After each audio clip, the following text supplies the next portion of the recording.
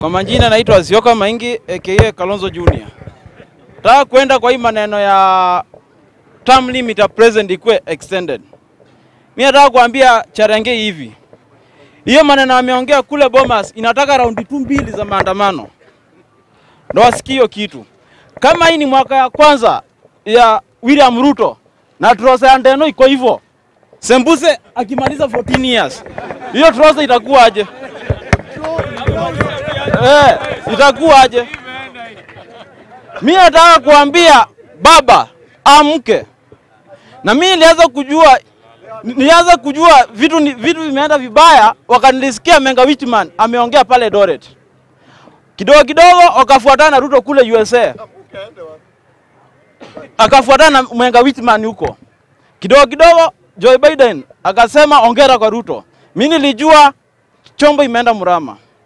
So nataka kuambia baba Raila Amolo Odinga, hizo vitu ziko bo Bomas, kwanza zisimamishwe, kwanza tuzungushe askari kidogo, ndo, ndo, ndo waelewe. Huwezi nguza katiba ya Kenya kama sisi tuko wai. Sasa ma, mada ya pili ni, mos, ni hii maneno ya reshuffling of cabinet. Jana tulisikia Gachagua akiwa kule, ilikuwa Nyeri, akisema awezi hawezi nguza, hawezi nguza mtu wao kama wako Mi nataka kuambia Gashagwa, Moses Kuria si Kenya, na Kenya kuna watu competent wanaweza shikilia hiyo hiyo nafasi ya Moses Kuria. Moses Kuria kama hawezi nguzwa, aeko pale State House afungulia watu gate. Na hii kasuba watu wa Mount Kenya ndio watakuwa napanga watu, inafaa iishe kabisa.